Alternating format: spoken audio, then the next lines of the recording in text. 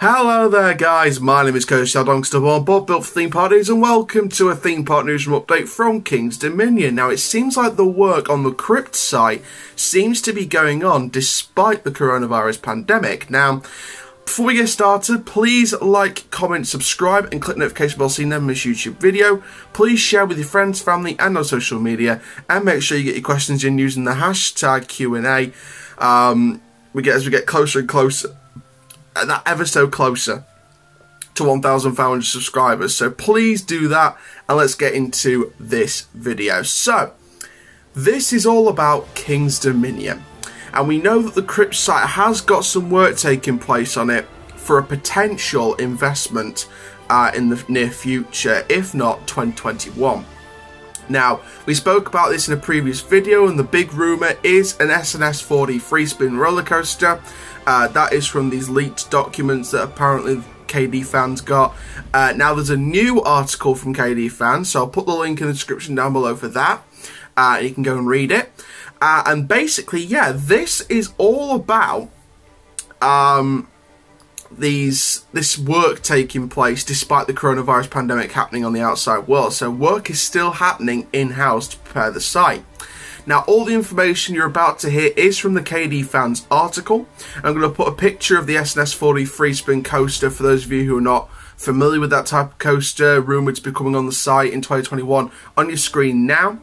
Fan Dabby Dorsey, and let's have a look then at what is happening. So, the article states a month ago we threw the enthusiast community for a loop when we first reported having seen supposedly leaked documentation stating that King's Dominion was working with S&S, Sansei Technologies, to construct a 4D free spin on the former site of the crypt for the 2021 season. At that time, we also said we anticipated that given the planned construction schedule we were provided, new circumstantial evidence should come to light soon. That new circumstantial evidence has arrived, and at least thus far, everything is still lining up with the previous reporting. So, what's new?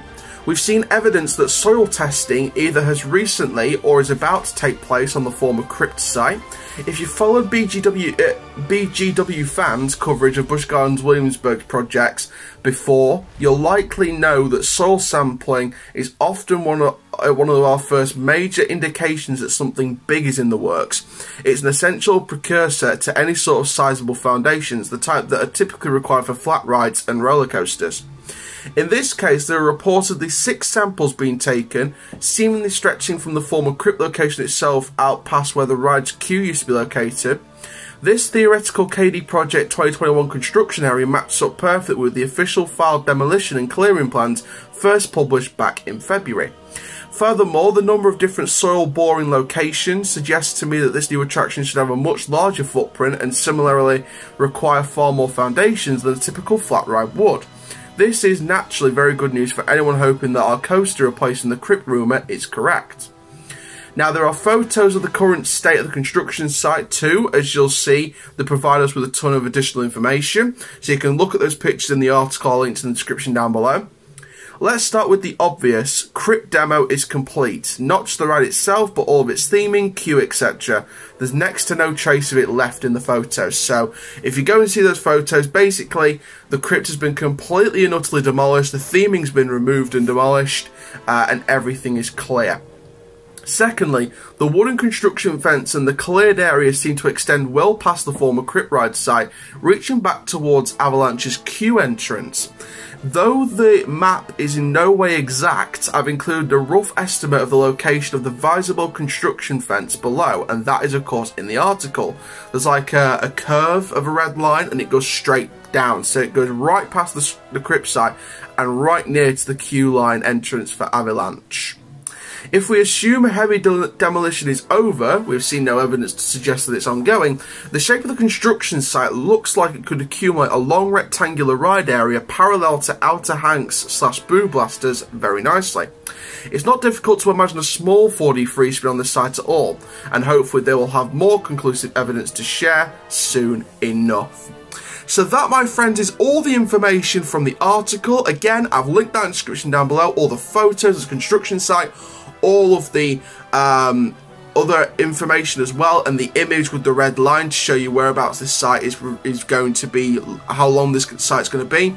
That is all in the article. That is on the link in the description down below. So make sure you go and check that out. Make sure you go and um, read all the articles from KD fans. They're brilliant, just as much as B, uh, BGW fans, KI fans, all the fan pages for American theme parks and British theme parks and European theme parks. They're all fantastic in each and every way. So, what do I think? I said from the very beginning, I said that a 4D free spin would be great for the park. It's a good, compact roller coaster, and I said it, and many other people have said this in the past as well. This is only filler for the Volcano site. Now, of course, for those of you who have no idea what I'm talking about, Volcano the Blast Coaster is a launched shuttle Intamin inverted coaster.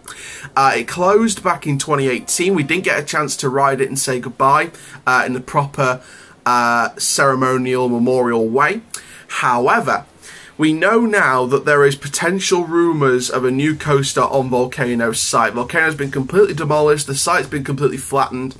Um, we know that the the ride uh, that's set to go on Crypt site is right near towards uh, Avalanche, which is right next to uh, Volcano at the back.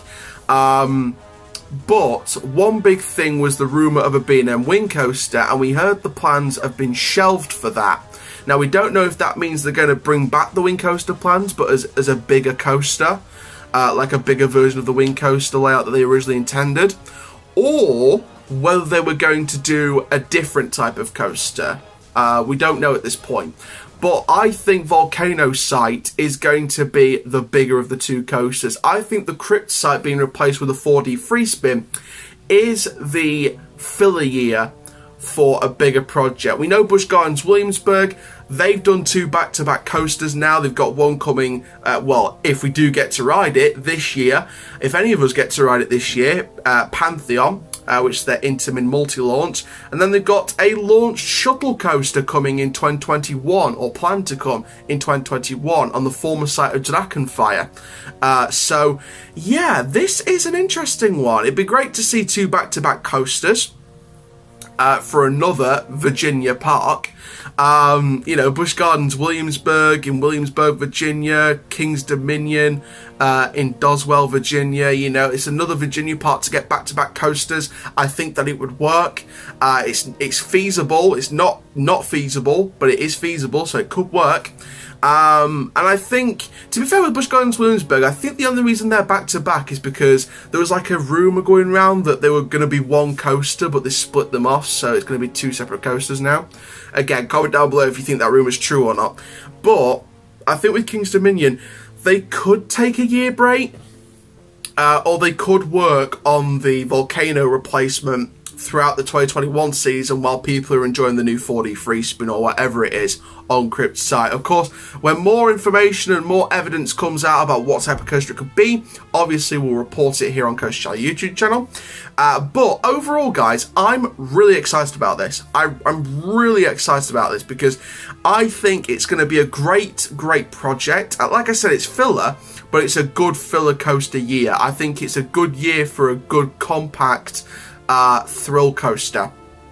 Batman the Ride at Six Flags Fiesta Texas, the Jokers across many Six Flags parks, um, even outside of Six Flags, you know, you've got um, you've got Arashi, which means storm in Japan over at Nagashima Spa Land that opened a few years ago. You know, there's there's many different 4D free spins out there, and I think doing one for King's Dominion is no different to any other. I think this is going to be a bigger one. I think with the bigger footprint than we first thought. I think it could potentially be longer than the Six Flags ones. It was either going to go one or two ways. It was either going to be longer than the Six Flags ones or it's going to be shorter. And the big rumour first was shorter. But I think with the footprint, I think it will be longer, in my personal opinion. I think it's going to be much longer.